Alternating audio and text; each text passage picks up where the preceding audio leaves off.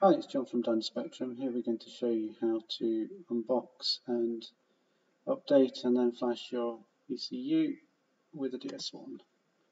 So first, plug in the DS1, go to its Wi-Fi, select connect automatically,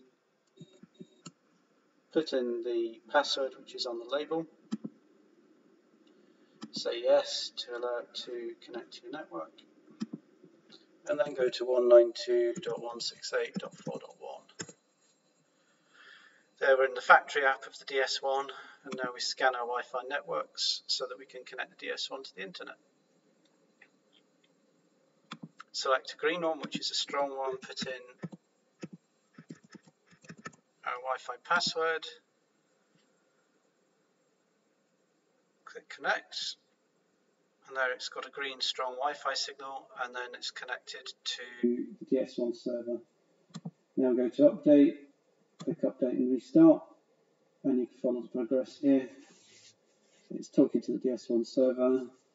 It's erasing the OBD app, which is the one that does all the communication with ECU and the flashing. And shortly we'll get a count up here. Once it's erased and it's writing DS1.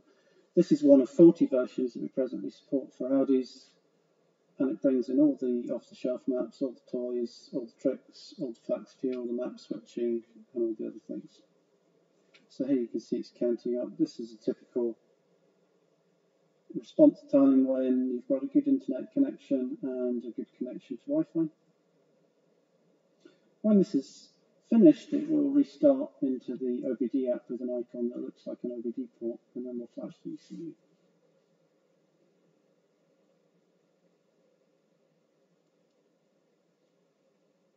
Usually it counts up to somewhere in the region of about 4,000 or just over kilobytes. It checks everything and then it restarts and it reloads the browser.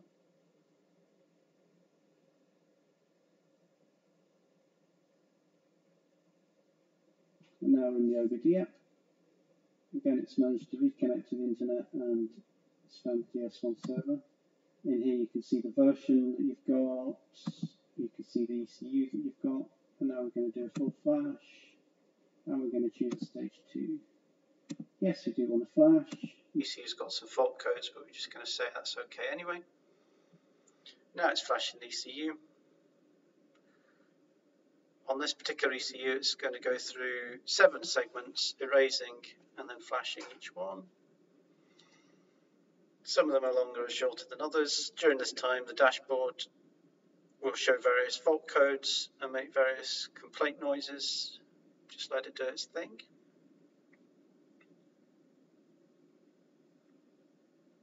If ever you want to see the history of what's happened, you can click Show Hide History here and there'll be a lot of blue text that appears below.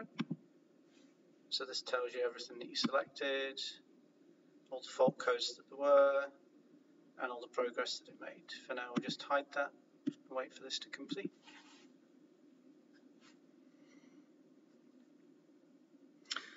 Many other tools take well over 10 minutes to flash and at this point would cut off their video, but the DS1 thankfully is uh, as fast as the gateway and the ECU will allow it. So a typical flash, full flash is about three minutes. One of the larger segments here is just going through, which is just over a megabyte.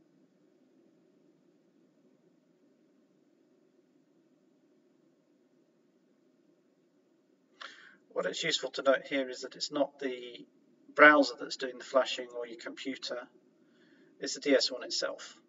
The browser is just there to show you what happens. On the DS1 itself, there is an LED that gives you a status of what's going on, and it will be flashing fast whilst things are being flashed.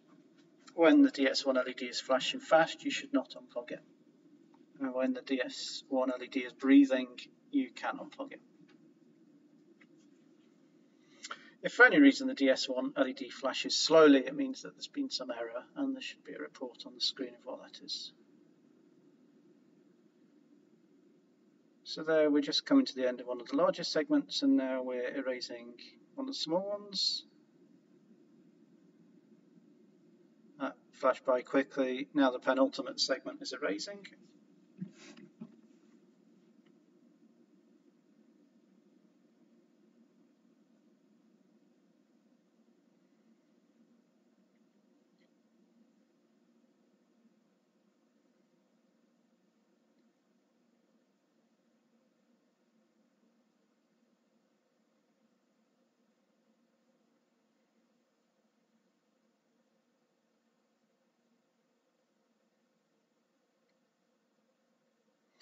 After this segment, segment 7 is the final one to be flashed, which is the calibration segment where all the tuning data is contained. You'll see that this is a small part of the flash time, and once you've done this initial full flash, you could choose a cal flash for subsequent flashes, and these take only about 30 seconds. So here we come into segment 7, we're erasing that.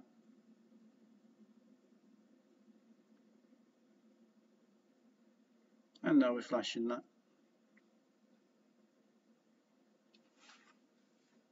When it finishes, it will say flash completed.